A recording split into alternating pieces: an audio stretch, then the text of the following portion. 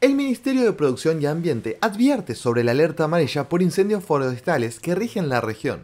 La ministra de Producción y Ambiente, Karina Fernández, instó a aumentar los cuidados en zonas agrestes luego de los últimos focos detectados en el territorio provincial. Casi todas las provincias de la Patagonia están con fuegos activos. Esto significa que todos los recursos disponibles de Nación en caso de una emergencia están ocupados. Por eso, hoy es más importante que nunca tener esto en cuenta a la hora de tomar una decisión cuando salimos al campo, recordó la ministra.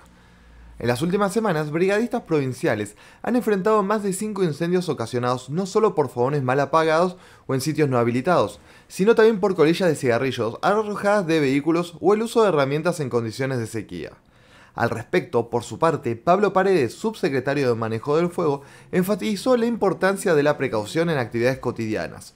Usar una moladora o soldadora hoy al aire libre ante la sequía que presenta la isla representan un riesgo de incendio tal y como sucedió días atrás acerca de la posibilidad de hacer fuego, incluso cuando rige sobre todo el territorio provincial la prohibición por riesgo de incendios forestales, el funcionario explicó que, en el inicio de la página web de la Secretaría de Ambiente, en el apartado de temporada de incendios, van a encontrar primero un mapa con todos los sitios habilitados para el uso exclusivo de artefactos homologados, es decir, anafes y calentadores, y abajo un listado de los sitios que han obtenido la excepción para hacer fuego.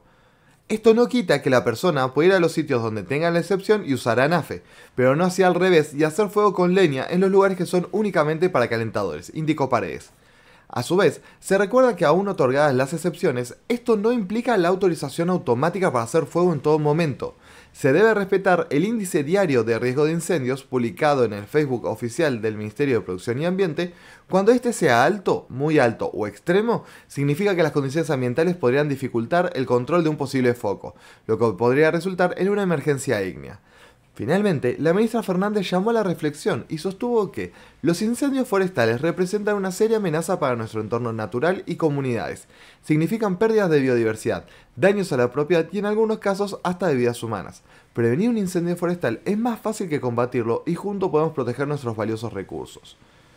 Ante el avistamiento de humo o fuego, llamar inmediatamente al 103 o 911 y para conocer los sitios habilitados por la provincia para el uso de anafes y o calentadores, los establecimientos autorizados para hacer fuego y recomendaciones en zonas agrestes se deben dirigir a la página web protiambiente.tierradelfuego.gov.ar y ahí indicar la solapa correspondiente. Informó para el equipo de TV2 Noticias Nicolás Fiocchi.